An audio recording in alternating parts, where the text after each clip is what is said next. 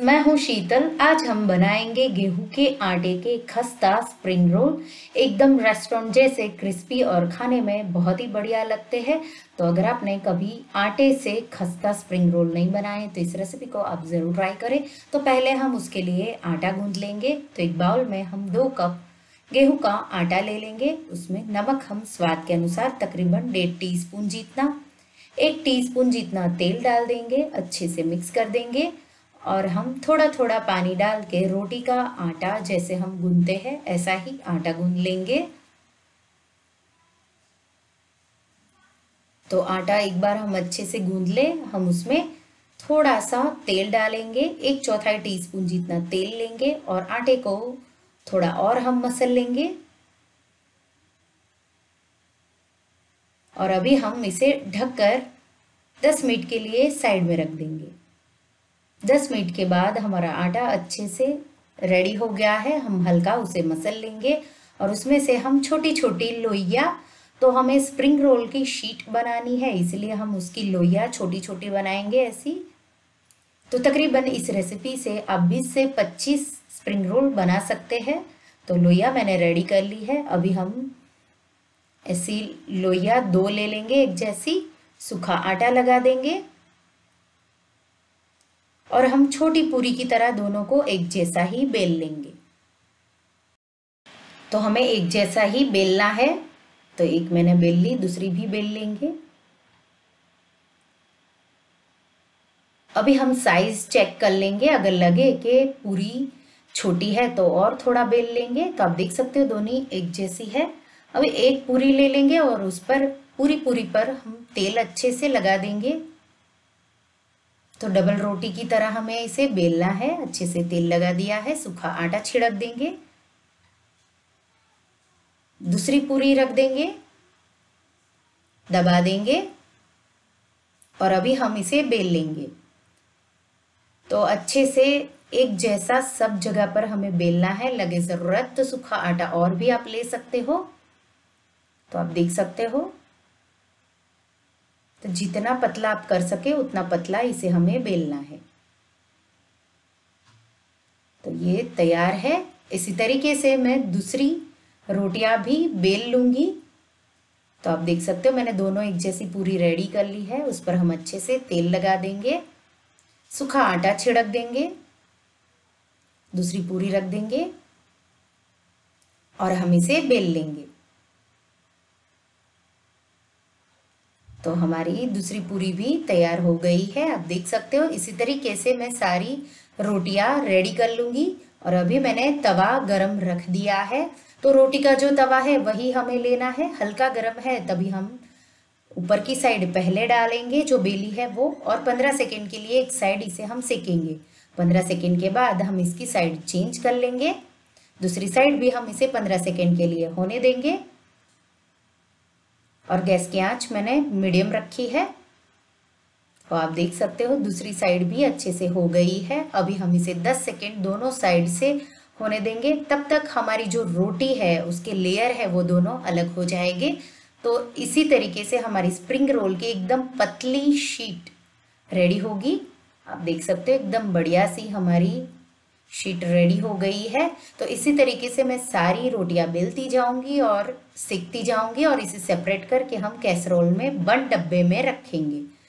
और अभी हम स्प्रिंग रोल का स्टफिंग बना लेंगे तो उसके लिए एक पैन में एक टेबल स्पून तेल गरम करेंगे। उसमें हम एक प्याज, ऐसे लंबा काटा हुआ, और चार से पाँच हरी प्याज को बारीक काट के डाल देंगे। प्याज को हम दो मिनट के लिए हाई फ्लेम पे सोटे करेंगे। तो अभी ये हम थोड़े क्रंची वेजिटेबल रहने चाहिए, इसलिए हाई फ्लेम पर इसे सेकेंगे।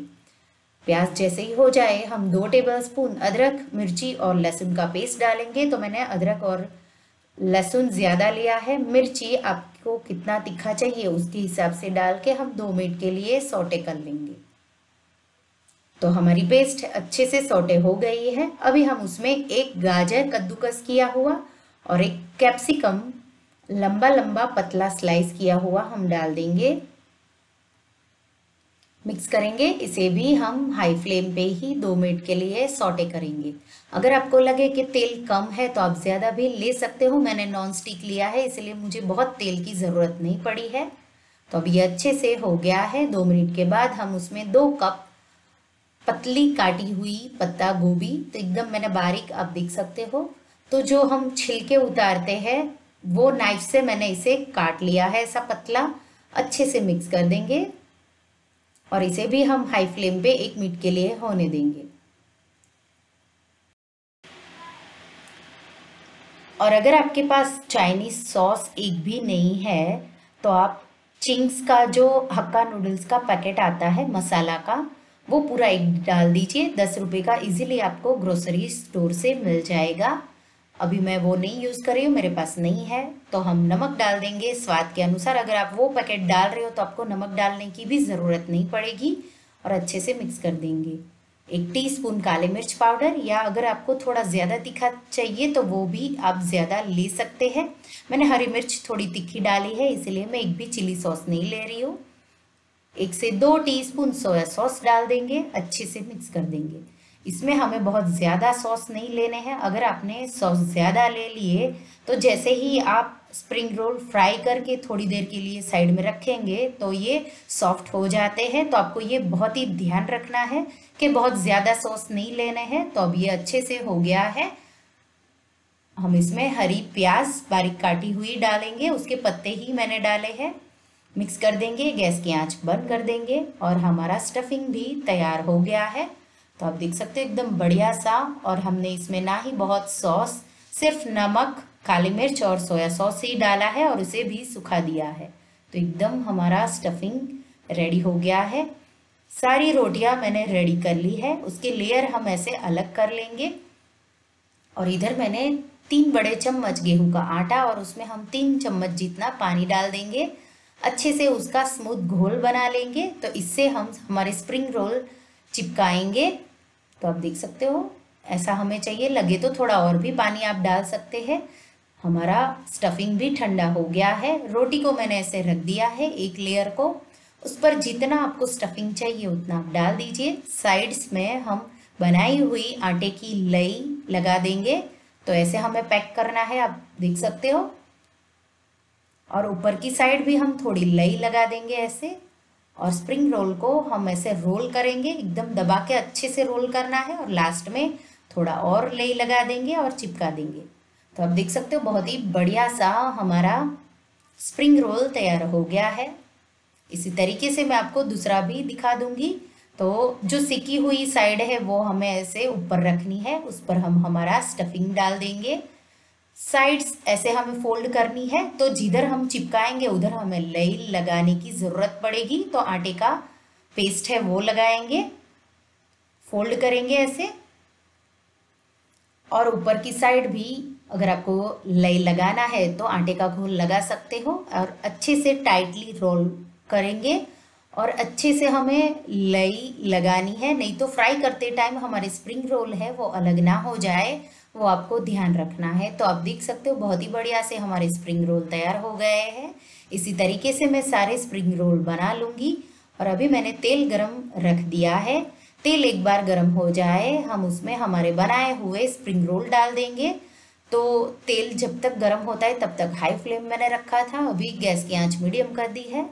और दोनों साइड चेंज करके हम इसे क्रिस्पी गोल्डन हो जाए, तब तक फ्राई करेंगे। तो इसे हमें फ्राई करने में एक से दो मिनट ही लगता है, बहुत ज़्यादा टाइम नहीं लगता है, क्योंकि रोटी भी हमने सेक के ली है। तो ये सेक की हुई रोटी का एकदम खस्ता क्रिस्पी हमारा स्प्रिंग रोल बनता है। तो आप देख सकते हो। आपको पता भी नहीं चलेगा कि आपने मैदा इसमें नहीं यूज़ किया है। इसी तरीके से हम दूसरे स्प्रिंग रोल भी फ्राई कर लेंगे। तो मैं साथ में ही बनाती जा रही हूँ और साथ में ही इसे फ्राई करती जा रही हो। तो झटपट स्प्रिंग रोल एकदम रेस्टोरेंट जैसे आप घर पे ही गेहूँ के आटे के बना सकते हो। इसे गर्मा गर्म आप सेजवान सॉस के साथ सर्व करें। अगर आपने घर पे कभी स्प्रिंग रोल नहीं बनाए तो इस रेसिपी को आप एक बार ज़रूर ट्राई करें। अगर आपको ये वेज स्प्रिंग रोल की रेसिपी पसंद आई हो तो आप इसे लाइक करें शेयर करें और मेरे चैनल को सब्सक्राइब करें। और ऐसी ही नई रेसिपी के लिए प्लीज़ अब बेल आइकन बटन को प्रेस करें। तो घर पे आप ये खस्ता बढ़िया से स्प्रिंग रोल एक बार ज़रूर बनाएँ और मुझे कमेंट में बताएँ कि आपको मेरी रेसिपी कैसी लगी। तो आप देख सकते हो गेहूँ के आटे के एकदम क्रिस्पी आपको पता भी नहीं चलेगा कि ये मैदे के नहीं बने हैं, खाने में उतने बढ़िया और क्रिस्पी बने हैं। तो बच्चों से लेके बड़ों को सबको ये बहुत ही पसंद आएगा।